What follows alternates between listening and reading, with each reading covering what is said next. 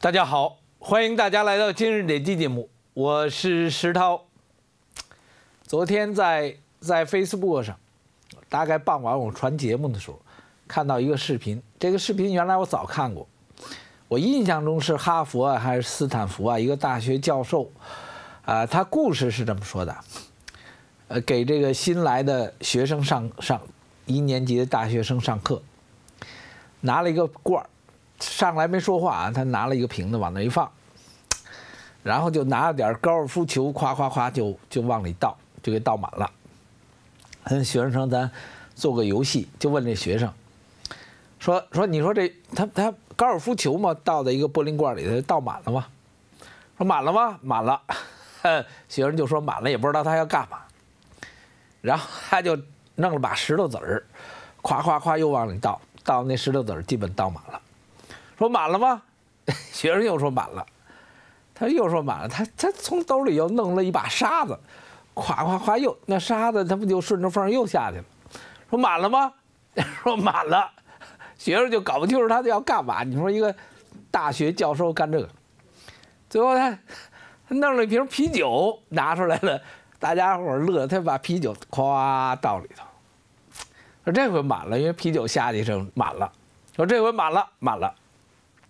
那在这个教授跟这些学生解释的时候说：“说你看这个这个高尔夫球吧，这是你一生中的你的家庭、你的父母、你的孩子、你的妻子、你的先生，与你将伴随一生的人，他是你生命中最重要的石头子儿，他是你的工作、你的车、你的房子、你的财物。”它完全可以失去的，因为它是你生命中的一部分，但不是你生命的连带。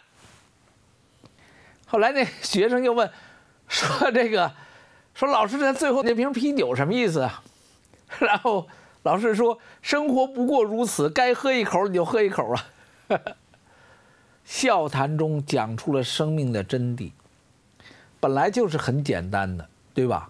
只不过人们在现实生活中追求中，人们在自以为是的走向成功的过程中，你却追的全是沙子，因为沙子可以透过石子儿，可以透过高尔夫球渗透在你的生命的所有的时间中，可它却是能够摧毁你的，但你以为。那是你生命中的一部分，它也确实是你生命中的一部分。可是这一部分却来自于一个人对生命的无知的认识所带来的对自我的伤害。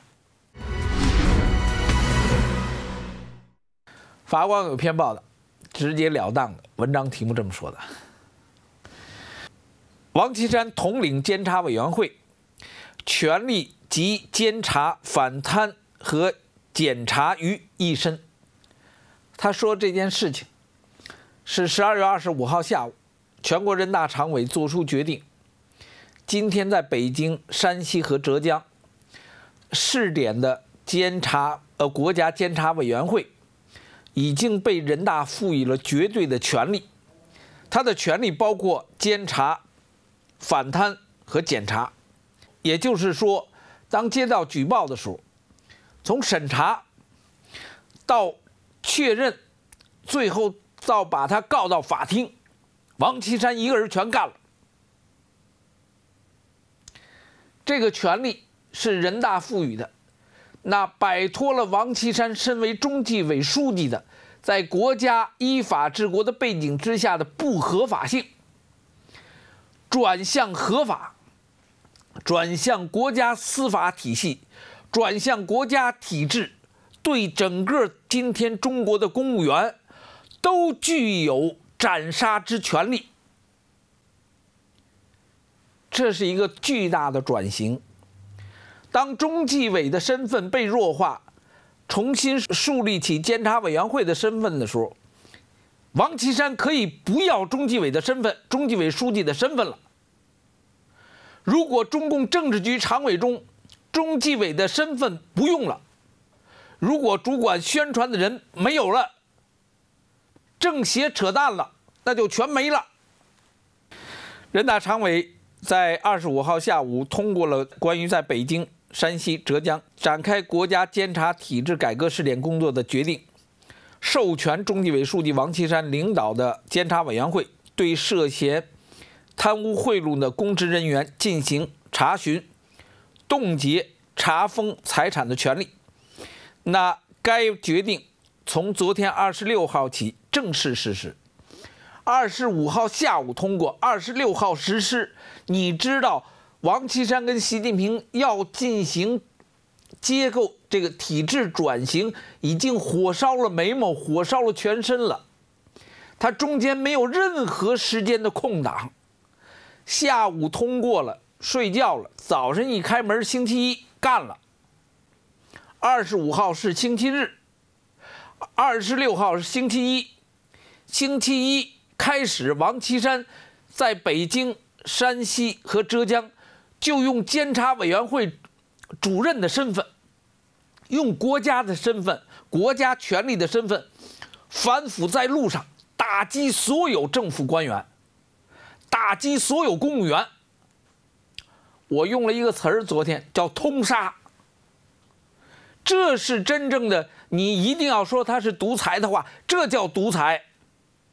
这叫权力上的独裁，为什么？他必须在国家体系中建立起绝对的权力，代替掉党的绝对权力。六中全会，我们从二零一六年，我跟大家讲，六中全会一定完成二零一六年一月十二号中纪委六中全会的目标。在六中全会结束之后，他以这样团团伙伙的目标。作为打击的对象，以政治错误作为打击的对象，成立了监察委员会，将在其中揪出后面的团团伙伙。江泽民、曾庆红将是以国家司法的角度，而不是中纪委的角度治他们的罪，恢复中华民族中国人的尊严，恢复国家的尊严。换言之，这个超级的反贪委员会的权力及地方政府的监察厅、反贪局、人民检察院于一身，是为了赋予这个权力予以监察委员会。人大同时决定暂时调整或暂时停止适用三地若干国家行政监察法、检察院组织法和刑事诉讼法。大家听懂了？雷洋案恰恰就在这个事情的前一天出现的结果，利用了旧的监法规，这是一个针尖对麦芒过程。人大的决定指出，设立监察委员会，建立集中统一、权威高效的监察体系，事关全局的重大的政治体制改革，这是这么回事儿。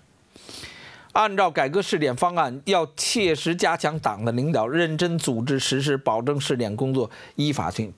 他必须说加强党的领导，但他的实际是摆脱党的领导。然后文章特别介绍了在中纪委惯常使用的双规的做法，缺少法律依据。那因为只有警察和检察官才有这个权利，这就是转向合法性，对吧？其实现在警察也好，检察官也好，也应该意识到，王岐山有权把他们干了。三个试点，北京、浙江、山西是有三个不同阶段、不同的呃经济背景、不同的社会背景、不同的人的权利背景，他们是正好是代表着中国社会三个特殊地区、三个分类地区当中的典型地方。恰恰雷洋案发生在北京，所以我刚才讲了，雷洋案涉案的所有警察、检察官、法官，包括他只要是公务员，今天王岐山就可以利用雷洋案去打击那些利用旧的体制负隅顽抗的人。与此同时，乌坎事件九名村民被判有期徒刑二至十年。广东海丰法院通告九名村民，被告以集中扰乱社会秩序、非法集会、游行示威、那妨碍公务、故意传播虚假消息、那九名被告被判入狱二到十年。那公告间接说明当地公安局排除案件异地审理。那我个人觉得，在这种大的监察体制的变革过程中，有人把这样的案子在快马加鞭的利用原来的概念给他结案，都是挑战，全都是挑战。王岐山、习近平可以在国家体系中建立最高的权力机构，但他无法掌控省以下的地方的任何事情，他掌控不了，因为杀他的人都在上头，对不对？所以我们看到的，在我眼睛里看到，这都是交织的过程，这些都在后面埋地雷一样埋下来，他也没办法顾及，他只能就这么走过去，对吧？就像我跟大家举个典型的例子。从七零九以后，很多律师被抓了，在推特上，很多朋友列出了长长的名单，对吧？去年七零九事件到今年，这是没错的。但有一个人，他们谁都不敢碰，高志胜。高志胜一定是习近平说话了，就没人敢动他，他怎么骂，都没人敢动他。高志胜还骂习近平了，那也没人敢动他。这就是我刚才说的原因。下面的可以为非作歹，欲利用原来的来抗争上面的旨意，而上面要做什么呢？他需要一步一步来，因为他是从脑袋从脑袋上的脑顶一直烂到脚后跟了，他只能从脑袋上先换，一点一点换了，就这么回事儿。那好，这期节目就到这里，谢谢大家，再见。